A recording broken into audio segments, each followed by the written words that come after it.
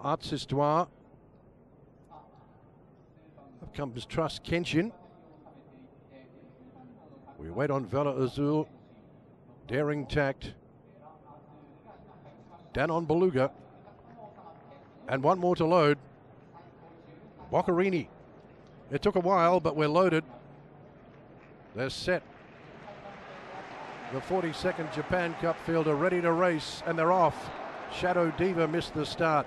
Simca Mille a little slow away, but Unicorn Lion shows early dash with Hearts Histoire going forward.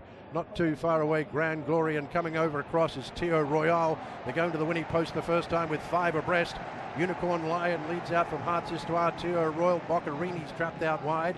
Simca Mille is tucked in behind them with Weltreisende, then Karate. Wider out is Danon Beluga. Stuck in behind is Onesto. Then comes Vela Azul, followed by Grand Glory. Wider out Danon Beluga again. Trust Kenshin lost a bit of ground. Daring Tact.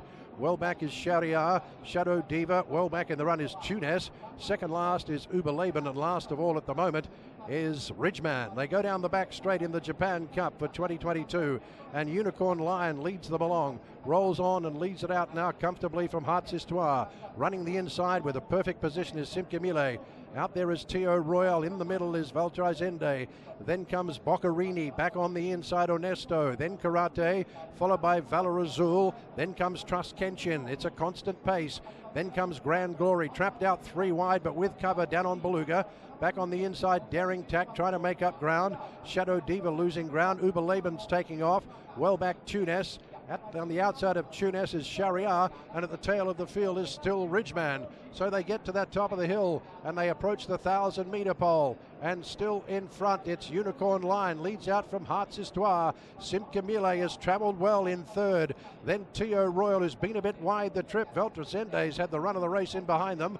Boccherini's been wide but goes on, followed by Karate. Back on the inside, Onesto. Christophe Lemaire looking for out. Danon Beluga's taking off round the outside with Uberleben. Back in behind them, Shahryar. Well back is Grand Glory. Stuck in behind him is Vela Azul. Will need luck from there with Daring Tact. They swing for home with 500 metres to run. Hearts Histoire finds the front, whacking away Unicorn Lion. Here's Boccherini. Now Danon Beluga emerges and Uber. And through the middle, Shahryar. A wall of them across the track. Danon Beluga finds it. Here comes Shahryar. Danon Beluga air. And Weltreisende up the inside. Might beat the ball. Up the inside, trying to rattle home Weltreisende. Damian Lane. And flashing home late, Vela Azul. Azul scoots to the front. Shahryar second. Weltreisende third and Daring Tact fourth. What a run late. Three lengths away, followed by wider out Grand Glory. Did it again, has run fifth. Then Onesto just in behind them. Two perfect runs. Tunes when it was all over, flooded home. Then Karate, followed by Uberleben, Tio Royal, Hearts Histoire, well back Trust Kenshin. Then pulling up was Ridgeman, well back Boccherini, Shadow Diva, Danon Beluga knocked up in the home straight, and last of all Unicorn Lion that led them for most of the race, and Simca Mille has pulled up short. Ryan Moore at his very best on Vela Azul, always looking for the gaps, and finally he did get one. Um, what an extra gear that he got out of Vela Azul. This improving five-year-old has beaten the 2021 Derby winner. 3.7. He's almost almost a second off his best time, and he's only been on turf for six months. Unbelievable.